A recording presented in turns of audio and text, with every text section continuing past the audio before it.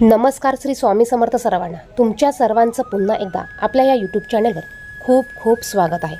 उद्या शनिवारी संकष्टी चतुर्थी आली आहे आणि ही संकष्टी चतुर्थी चैत्र महिन्यातली पहिली संकष्टी चतुर्थी आहे. प्रत्येक महिन्यात येणाऱ्या संकष्टी चतुर्थीला विशेष असे महत्त्व असते.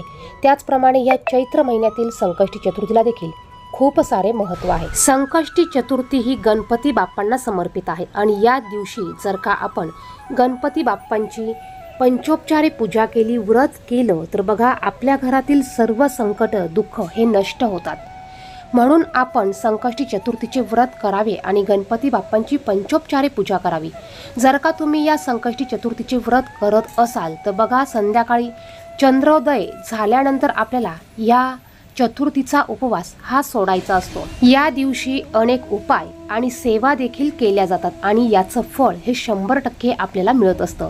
कारण चतुर्थीच्या दिवशी गणपती बाप्पांचं तत्व हे खूप मोठ्या प्रमाणात हे पृथ्वीवर पसरलेलं असतं आणि यामुळेच या दिवशी जर का तुम्ही काही उपाय केले तर याची रिझल्ट हे तुम्हाला शंभर टक्के मिळत असतात.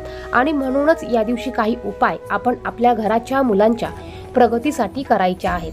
त्याचप्रमाणे आपल्याला संकष्टी चतुर्थीच्या दिवशी अंघोळीच्या पाण्यामध्ये ही एक वस्तू टाकून या पाण्याने अंघोळ करायची आहे. बघा यामुळे तुमचे सर्व दोष अडचणी संकटे नष्ट होतील. तुमच्या कठीणातील कठीण इच्छा ह्या पूर्ण होतील. उपाय काय करायचा आहे हे जाणून घेण्या अगोदर तुम्ही जर का चॅनेलवर नवीन असाल तर असेच माहितीचे व्हिडिओ बघण्यासाठी चॅनेलला सबस्क्राईब करा आणि बाजूच्या बेल आयकॉनला देखील प्रेस करा. आपण प्रत्येक विशिष्ट तिथीला विशिष्ट दिवशी पवित्र नदीमध्ये स्नान करत असतो. आणि जर का आपण पवित्र नदीमध्ये स्नान केले तर बघा यामुळे आपली सर्व पापे ही नष्ट होतात. आपली नकारात्मक ऊर्जा निगेटिव्ह ऊर्जा पितृदोष हे सर्व दोष आपले नष्ट होत असतात. आणि म्हणूनच आपण घरी देखील आंघोळीच्या पाण्यामध्ये या काही वस्तू टाकून हे दोष नष्ट करू शकतो. यामुळे आपण या दिवशी जे आपण काही सेवा उपाय करू याचं फळ हे आपल्याला दहा पटीने अधिक मिळत असतं. आणि म्हणूनच संकष्टी चतुर्थीच्या दिवशी सकाळी आपल्याला उठल्यानंतर अंघोळीच्या पाण्यामध्ये गोमतीर पाणी आवर्जून टाकायचं आहे.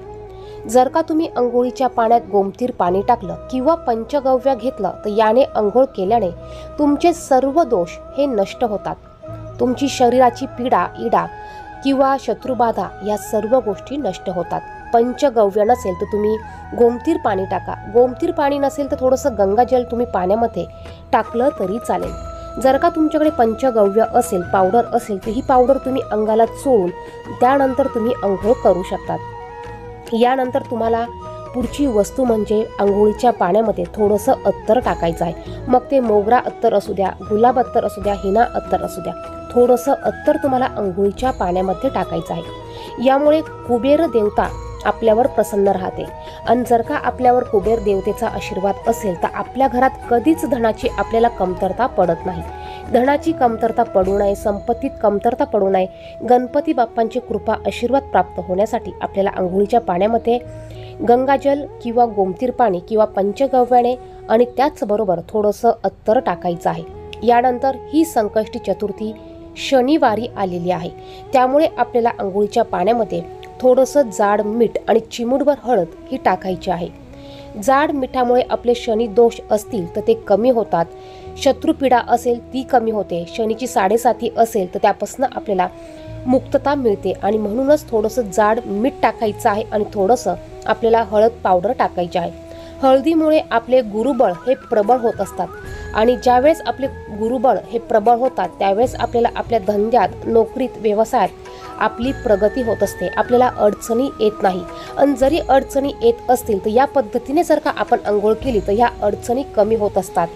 आणि दिवसभर तुम्ही जे पण काही उपाय कराल काही सेवा कराल याचे फळ तुम्हाला हे शंभर टक्के अधिक पटीने जास्त मिळत असतात. आणि म्हणूनच आपल्याला अशा विशिष्ट तिथीला अंघोळीच्या पाण्यामध्ये ह्या वस्तू टाकून अंघोळ करायची आहे. त्यानंतर या दिवशी आपल्याला संकष्टी चतुर्थी असल्यामुळे गणपती बाप्पांची पंचोपचारी पूजा करायची आहे. त्यांना पाण्याने पंचामृताने तुम्हाला अभिषेक घालायचा आहे.